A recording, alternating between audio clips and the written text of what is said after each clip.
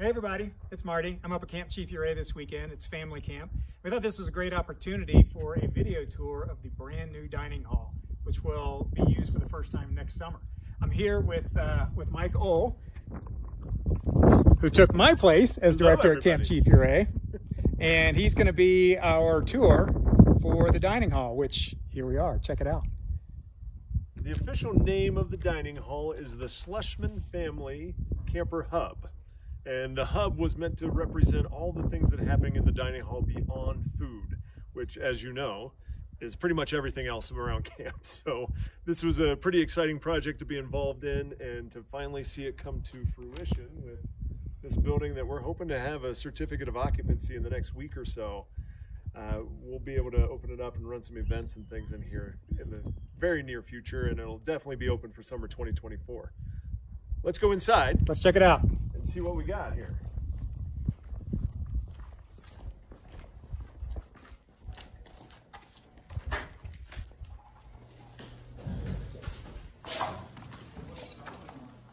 So as we enter in, you can see this is our main dining space. This will be able to sit between 350 and 390 kids and staff. That's our occupancy for this building.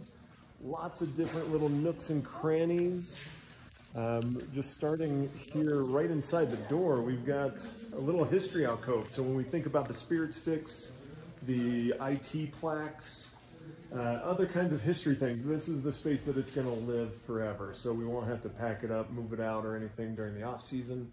Really exciting to have a space to showcase what camp was in the past. Um, more in the corner over here, we'll have a dedicated space for the camp store. And so I see different things happening. We won't necessarily do food, but we might, who knows. Uh, but this gives us some space to expand the store a little bit, get some more merchandise that is keep cheaper meeting, and move forward in that space. Right next door, this is our nurse's office. And this will be a place where we can do med administration during the summertime. So during meals, when we have those few kids or more that need medications during meals, they can just pop right over and grab it and go back to um, back to their cabin without having to send a group of people over to the cookie jar. This is pretty cool. It's got its own dedicated bathroom space as well. I like that. I'm sure Gretchen has some opinions about that as well. Yeah, she's been great in giving feedback. Awesome. The front of the dining hall here, heading up against the kitchen, you can already see the drink bib in place. We'll also have a couple salad bars up in the front here that will allow kids to rotate through. And then when we get down to the far corner, we've got bathrooms and it'll include a universal family bathroom and a couple different things. So this allows us to have the space for the kids that we're serving now. We can fit everyone in camp in this building right now.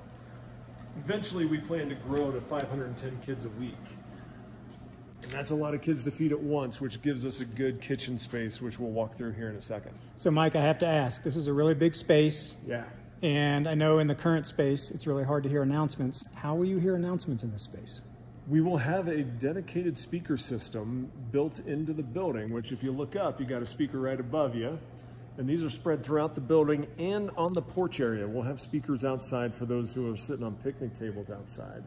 Uh, but the microphone system will allow us to do the announcements. Now, the other question is the way the sound vibrates around the room. Uh, we've got soundproofing boards up in the ceiling behind those boards that are up there. That'll help a little bit. And then we're also looking at other pieces like artwork that can be printed on soundproof boards and things like that to help cut down on the noise bouncing around. Because even with the soundproofing board in the ceiling, with 400 people in this space, there's no way it's not going to be loud. Gotcha. All right, should we check out the kitchen? Yeah, this is pretty exciting. For those of, who have been in the kitchen, there's our dish room. So hoppers will take the trays of dirty dishes and drop them off here. This will be make sure it's all locked up, please. This will be our main entrance into the kitchen area, so you can see where they can pick up trays, uh, still serving family style still see that happening. And one of the things we've talked about quite a bit is once we start living in the space, that's when we're gonna really figure out how it's gonna work the best. But yeah, let's go into the kitchen area.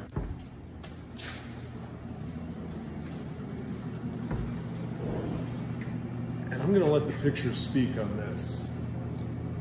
I might have to talk a little bit just because I've told multiple people this weekend that I'm really jealous that uh, I never had an opportunity to be in this space. But hot food will go out here. But look at all the prep space and the holding space on the line here. Uh, pass through window from the uh, cooking space back there. The dish room. So all the clean dishes will go there dishwasher. I mean, this is a giant space compared to what we've had for years. So based on our current kitchen footprint, I often joke around that the dish room is the size of our current kitchen. It's pretty accurate. It feels pretty accurate. This is great.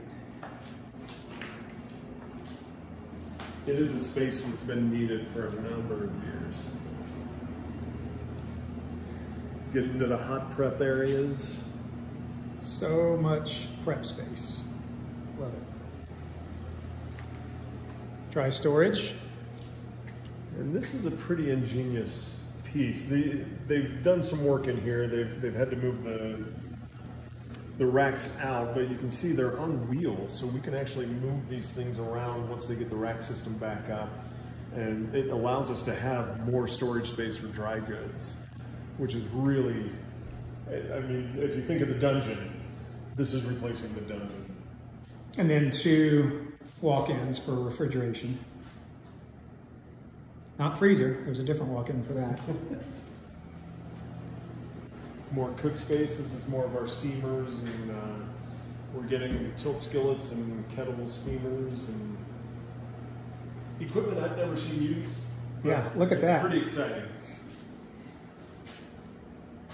Is that a fryer? Is that what that That's is? a tilt skillet. That's a tilt skillet. Yeah, this is the kettle steamer. So if you think about making rice for 700 people, we can make a lot of rice or soup. Wow. Um, And then I think, did you tell me this area over here was going to be specific to allergen prep? I believe so. It's either this out here or what's behind you. Uh, I'm not sure how they'll set it up, but I'm going to have someone smarter than me in the kitchen really walk through and tell us how this might work best. And then ice machine. Office space for the kitchen manager.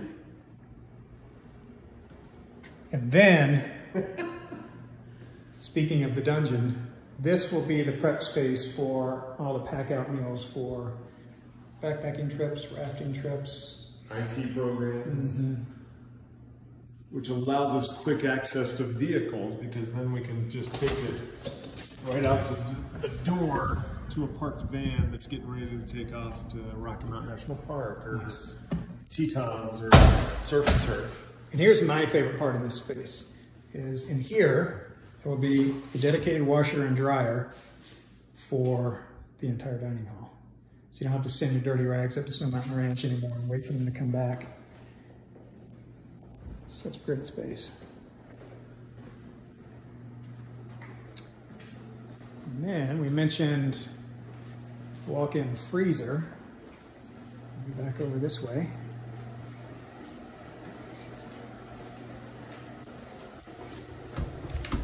Oh, just go there. Look at that. It's like three times as big as the current one. And then we have the new super secret bathroom. Where I would hide out if I didn't want people to ask me any more questions. And then what is this, staff lounge is area? lounge area, yeah. Be great. And just uh, for those who know the history, this was first dreamt of in 2003, Yeah, I think that's right. somewhere around there. So this is literally a 20-year project finally coming to life with lots of people who worked on this.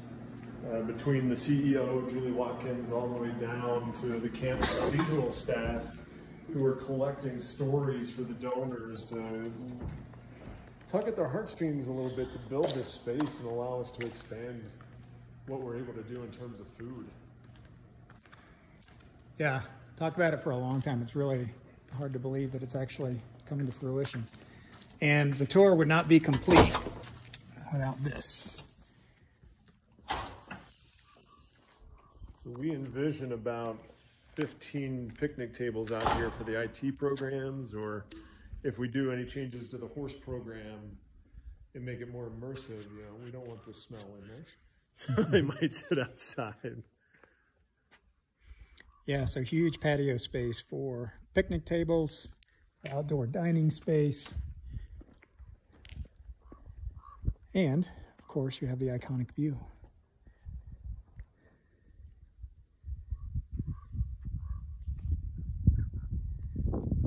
Well, Mike, thanks for taking us on the tour. Uh, thank you all. I hope as alumni you appreciate this and uh, know that this is built for our next generation of campers. So as we look forward to what the future holds, this will help us in terms of growth and opportunity and just as we live into this space, it's also going to start looking a little different too, which is always interesting to think about. Well, and so, you know, speaking of that, in addition to the hub, there's new camper villages. If alumni are interested in coming up and seeing camp, maybe getting a tour, what would your recommendation be on how Absolutely. to do something like that? It would be calling the camp office, trying to set that up, and we can work around your schedule. So if it's on weekends, we can make that happen. Uh, if the camp staff aren't available, uh, I'll definitely be the one jumping in to help with that. But we want to show off this space. This is because of all of you that we're able to do something like this, all the great work that you've done. So definitely call the office and or even email the chief Ouray at ymcarockies.org to set something up because email gets checked often more often than phone messages, but we'll, we'll get back with you. Great. All right. Well, thanks so much. And for all of you alumni, thanks for tuning in and hope to see you soon.